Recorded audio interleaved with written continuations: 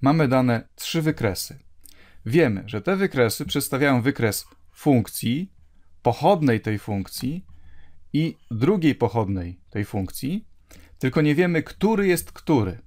Na tym właśnie polega zagadka, żeby teraz dopasować, żeby przyporządkować, który wykres jest wykresem funkcji, który jest wykresem pochodnej, a który jest wykresem drugiej pochodnej. Jak zwykle zachęcam Cię, wciśnij pauzę i spróbuj najpierw samodzielnie się zastanowić nad tym. A teraz możemy razem to przeanalizować. Ja to zrobię taką metodą, że dla każdego z tych wykresów spróbuję naszkicować, jak mniej więcej wyglądał będzie wykres pochodnej przedstawionej tutaj funkcji. No to zajmijmy się pierwszym wykresem, tym pomarańczowym.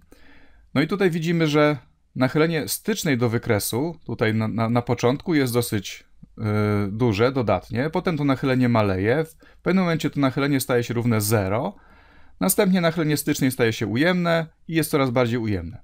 Czyli tutaj pochodna będzie się zerować, na lewo od tego punktu będzie, będzie dodatnia i będzie to nachylenie malało, czyli tutaj to nachylenie jest dodatnie, tutaj sobie maleje, następnie staje się ujemne, tak jak mówiłem, i tutaj później jest coraz bardziej ujemne. Czyli ta pochodna, przynajmniej na tym przedziale, który tutaj możemy zobaczyć, będzie wyglądała mniej więcej tak. No to teraz popatrzmy, czy któryś z tych wykresów to przypomina. Na pewno ten drugi, niebieski, zupełnie nie przypomina tego wykresu, no bo tutaj w, otoczeniu tego punktu, gdzie się ta pochodna zeruje, tutaj w ogóle w przeciwną stronę ten wykres przebiega, ale ten ostatni wygląda obiecująco, bo rzeczywiście tutaj to miejsce zerowe mniej więcej się zgadza, ten trend spadkowy tutaj się zgadza, tylko te zakręty na końcu tutaj się nie zgadzają. No ale widzimy, że tutaj mamy wykres tej funkcji tylko w pewnym przedziale. I na przykład tego, co się dzieje poza tym, po, poza tym, yy, poza tą prostą pionową, to my nie wiemy co tutaj się dzieje dalej z tą funkcją pomarańczową, więc tym się nie musimy sugerować. Podobnie tutaj widzimy, że widzimy tylko taki kawałek tej funkcji, czyli w tym przedziale, który tutaj widzimy, to ten wykres się zgadza mniej więcej. No a co się dzieje poza tym przedziałem, no to nie wiemy. Możliwe, że tutaj dalej na przykład rzeczywiście ta funkcja tutaj jakoś na przykład yy, jeszcze nadal tutaj nachylenie styczne jest ujemne, czyli tutaj funkcja maleje, ale maleje coraz wolniej.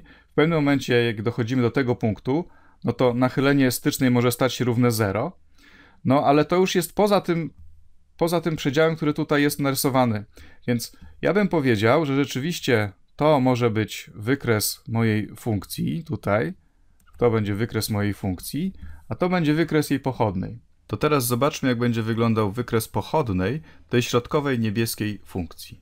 Tutaj po lewej stronie widzimy, że nachylenie styczne jest ujemne, ale rośnie, jest coraz większe, aż wreszcie dochodzimy do tego punktu, kiedy nachylenie stycznej staje się równe 0. Czyli tutaj pochodna będzie 0, a na lewo od tego punktu będzie ujemna. Następnie nachylenie styczne jest dodatnie, tutaj rośnie, rośnie aż osiąga maksimum gdzieś w okolicy tego punktu, następnie zaczyna znowu maleć to nachylenie stycznej, aż wreszcie staje się równe 0 tutaj mniej więcej w tym punkcie i na prawo od tego punktu dalej maleje, maleje coraz bardziej i jest ujemne. Czyli tu są te dwa punkty, w których nachylenie styczne jest równe 0, pomiędzy nimi jest dodatnie, czyli pochodna będzie dodatnia, na lewo i na prawo będzie ujemna. Czyli tutaj ona jest mocno ujemna po lewej stronie, rośnie aż do tego punktu, potem, staje się dodatnia dalej rośnie, w pewnym momencie osiąga tutaj jakieś maksimum, zawraca, maleje to nachylenie, aż znowu przechodzi przez 0 i potem staje się ujemne i tutaj maleje coraz bardziej. Jak popatrzymy na to, co narysowałem, no to widzimy, że to wygląda bardzo podobnie do tego pomarańczowego wykresu. Czyli ten pomarańczowy wykres bardzo dobrze pasuje do pochodnej tej niebieskiej funkcji. Czyli zmieniłbym teraz swoje obstawienie, powiedziałbym, że to jest moja funkcja f, wtedy to jest jej pochodna, no a to jest w takim razie druga pochodna, bo to była pochodna tego pomarańczowego wykresu. Więc ja bym tutaj tak obstawił swoją odpowiedź.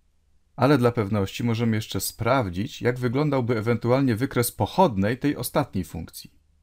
No to popatrzmy, tutaj na początku nachylenie styczne jest dodatnie, czyli pochodna będzie dodatnia, później tutaj staje się równe 0, czyli tutaj pochodna będzie się zerować, następnie nachylenie styczne jest ujemne, cały czas jest ujemne, aż tutaj znowu się zeruje i później staje się dodatnie.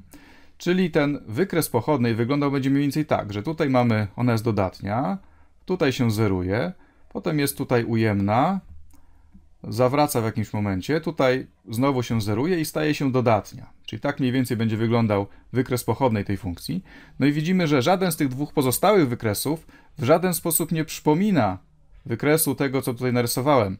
Czyli żaden z tych pozostałych wykresów nie może być wykresem pochodnej tej, tej ostatniej funkcji. Czyli to mnie utwierdza w przekonaniu, że ten wybór, którego dokonałem, że wykres funkcji mamy w środku, wykres pochodnej po lewej, a wykres drugiej pochodnej po prawej, jest poprawny.